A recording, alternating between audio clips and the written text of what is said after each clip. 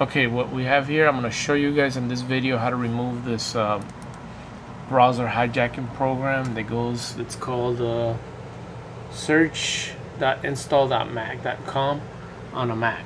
Okay, what this is is just malware that's installed on your computer. Um, the way you do it is you download the uninstaller for it. Um, we already downloaded that file and it's right here so what we're gonna do is we're gonna run it. Okay. And uh, you want to bear with me I'm the only one recording here. So I'm just gonna run this uninstaller and then I'm gonna reset the browser back. So I'm gonna pause the, the computer uh, the recording right now until I run the uninstaller. I'm gonna put the, a link on the, the bottom of the video in the description as to where to get the uninstaller for it okay? Again this is uh, please subscribe click like if this video helped you. Okay. Okay now we have uh, ran the uninstaller so now we should be good to go.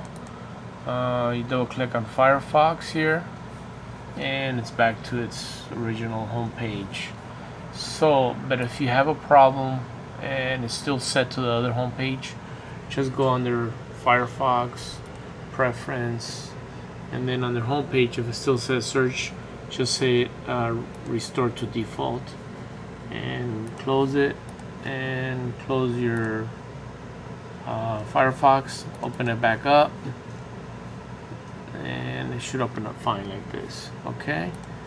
Um, you the, the the hijacking software might also be will probably more likely be installed also on your Google Chrome and your Safari.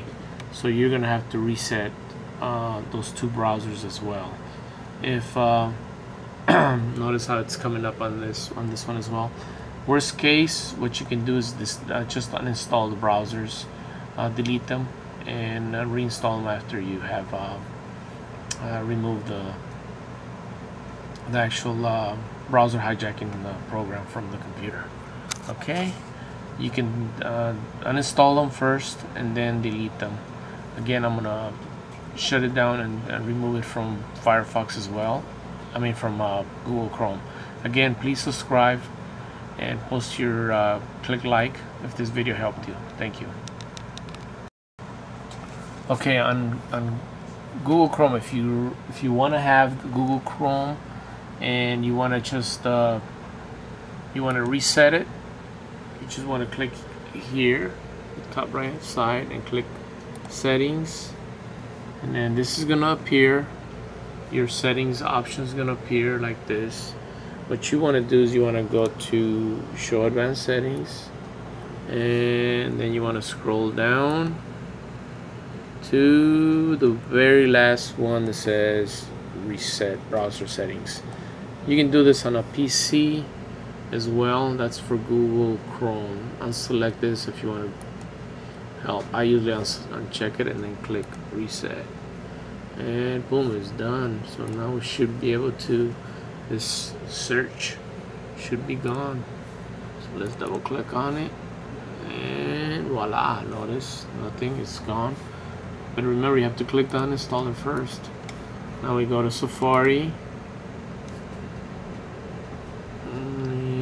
see Safari right now. It's opening up. It's probably going to have it as well. Oh, this is done. It's completely gone on Safari. So you're good to go here. Alright, again, uh, please subscribe if this video helped you. Thank you.